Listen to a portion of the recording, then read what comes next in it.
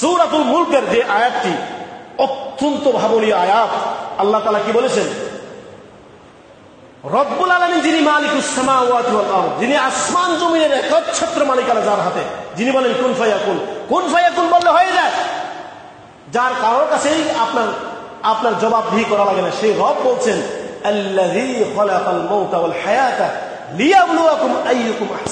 মানুষ, ও মানুষ কোন সে ধোকায় পড়ে আছে মানুষ।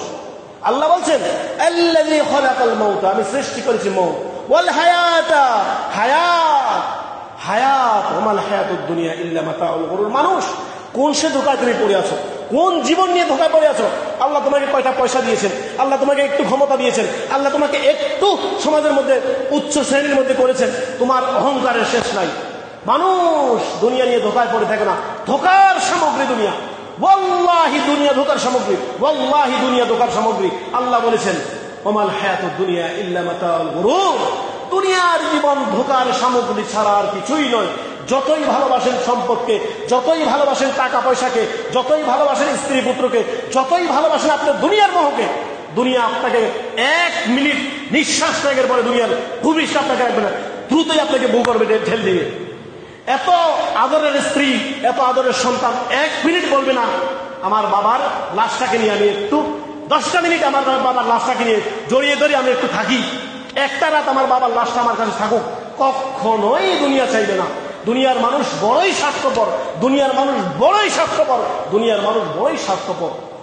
যখনই আপনার নিঃশ্বাস যাবে, দুই চার দিন আপনার কান্নাকাটি করবে, যেই আদরের স্ত্রী, সেও একটা দিন অন্যের কাছে আপনার, অন্যের ঘরণী হয়ে যাবে। অতএব যতই আপনি দুনিয়াকে মহাব্বত করেন, দুনিয়া আপনার জন্য কি? পরীক্ষার জগৎ। পরীক্ষার জগৎ আল্লাহ তালা আপনাকে দুনিয়াতে প্রেরণ করেছেন পরীক্ষার জন্য। আল্লাহ বলেন মানুষ। তোমাকে দুনিয়াতে আমি প্রেরণ করেছি পরীক্ষার জন্য। দারুদ দুনিয়া, দুনিয়ার জীবন পরীক্ষার জগৎ। দারুল আখেরা, আখেরাত হচ্ছে বদলার জগৎ। যা আপনি দুনিয়ার জীবনে করবেন, ঠিক তদ্রুপ আপনি বদলা পাবেন আখেরাতে বিচার দিবসে। কিয়ামাতি সামনে তার দাঁড়াবে, হিসাব কিতাব চলবে, হিসাব কিতাব চলবে, কোনো থাকবে না। কোনো থাকবে না যে আমি বুঝি না আরবি, তর্জমা একজন নিয়ে আসবে, সে তর্জমা করে দিবে, আমাকে বুঝিয়ে দিবে এক্সপ্লেন করে দিবে। এক্সপ্লেন করার জন্য কেউ থাকবে না। আপনি আপনার রবের সাথে সরাসরি কথা বলবেন, প্রত্যেকটি কর্মের আপনি হিসাব দেন। তো সর্বদা আমরা এই কথাই বলব যে আমরা নিজের আত্মপর্যালোচনা করব, নিজেরা কি করেছি? যতই পাপ হয়ে গেছে, এখনও সময় আছে।